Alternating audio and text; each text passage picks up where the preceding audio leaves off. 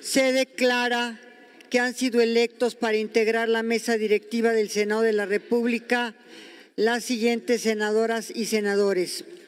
Presidencia, senador Alejandro Armenta Mier. Vicepresidencia, senadora Ana Lilia Rivera Rivera.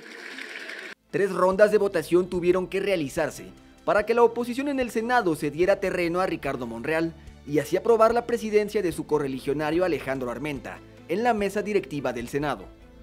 Un proceso legislativo que culminó rozando el límite del calendario por los amagos y contratiempos en las votaciones y que arrojó luces sobre claroscuros a la hora de las definiciones políticas. El primero, naturalmente, se dio en la primera votación, de la cual salieron 52 votos a favor, 55 nulos, 4 diferenciados, 1 en duda y 10 votos en blanco.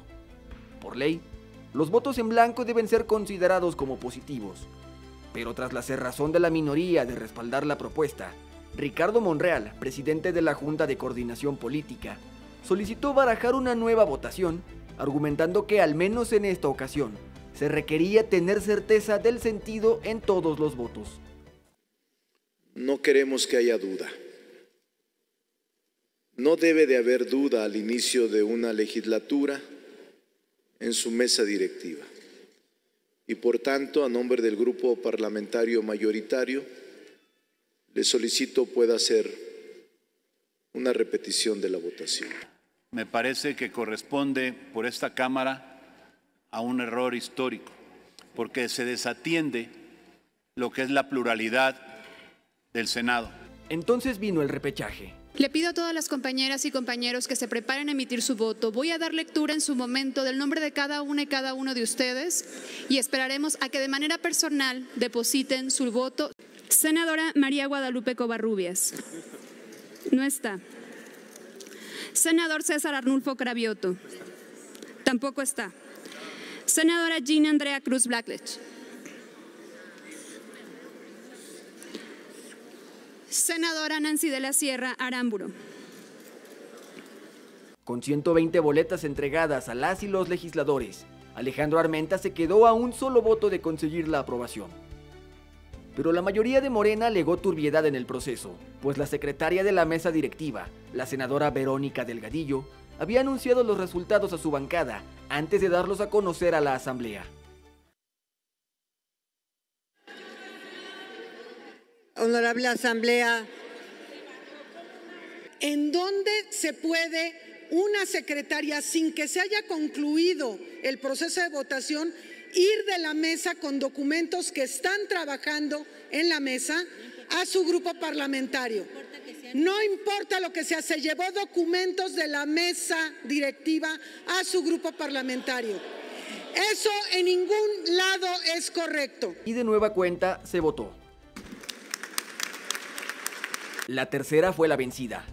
Con apenas 65 votos, Alejandro Armenta fue electo presidente de la Cámara Alta. Los resultados inmediatamente se reflejaron en los rostros y ademanes de la bancada de Morena. El senador Alejandro Armenta Mier obtuvo 65 votos. La senadora Ana Lilia Rivera Rivera 103. Senador Alejandro Armenta Mier 65 votos. Ana Lilia Rivera Rivera 113 votos. Con un margen reducido, Alejandro Armenta fue electo presidente. Las bancadas del PRI, PAN, PRD, Movimiento Ciudadano y el Grupo Plural aplicaron una nueva jugada dejaron ver que sus planes para la dirección de los trabajos en la Cámara Alta eran otros. Sin haber participado oficialmente ni aparecer en las opciones de la cédula, los grupos minoritarios emitieron 52 votos en favor de Ricardo Monreal para respaldarlo como presidente de la mesa directiva. La mayoría de Morena reclamó esta acción, que tomó como un intento de dividir a su grupo parlamentario. Y es que horas antes la oposición negó que propondría a Monreal, su interlocutor con los grupos de mayoría y aspirante declarado de la carrera presidencial. Con un semblante serio, después de fracasar en dos ocasiones para dirigir a su correligionario Alejandro Armenta, el zacatecano agradeció el gesto de la otra ala del Pleno. Creo que es un gesto auténtico y eso a mí me hace comprometerme más con mi comportamiento personal, pero también con mi propia definición constitucional. Cada día que pasa me doy cuenta que es necesario que defendamos nuestra autonomía. Luis Francisco Soto, Canal 14.